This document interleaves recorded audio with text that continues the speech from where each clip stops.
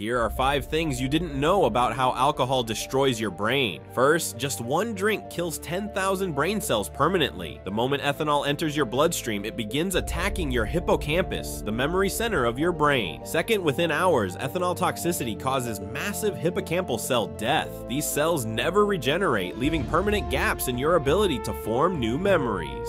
Third, alcohol disrupts your REM sleep cycles for up to three nights after drinking. This prevents memory consolidation, making it impossible to transfer information from short-term to long-term storage. Fourth, even moderate drinking triggers neuroinflammation that impairs focus for 72 hours. Your brain literally swells, crushing neural pathways needed for concentration. Fifth, alcohol depletes B vitamins essential for neurotransmitter production. Without these vitamins, your brain cannot produce dopamine or serotonin properly. But here's the most devastating part. Moderate drinking accelerates brain shrinkage equivalent to 10 years of aging. Your brain physically shrinks with every glass.